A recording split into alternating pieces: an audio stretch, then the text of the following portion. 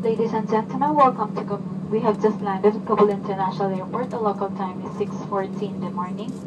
And the outside temperature is 18 degrees Celsius. For safety reasons, please remain seated with your seatbelt fastened until the, the aircraft has come to complete stop and the fasten seatbelt sign has been turned off. When opening the overhead lockers, please be careful as items may have moved during landing and may fall out and cause injury to you or your fellow passenger. When leaving the aircraft, please remember to take all your personal belongings with you and to check your seat pockets.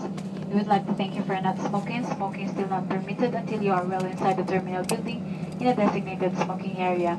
Our ground staff is waiting to meet this flight and we will be pleased to assist you further. On behalf of Safi International Airways, Captain Yazan and the entire crew, it was our pleasure having you on board and we look forward to welcoming you again in the near future and a safe onward journey. For further information on Safi International Airways and the new destinations arriving along with new press releases, please visit us on www.safiairways.aero. We would appreciate any feedback on your experience with us today. Thank you. Have a nice day in Kabul.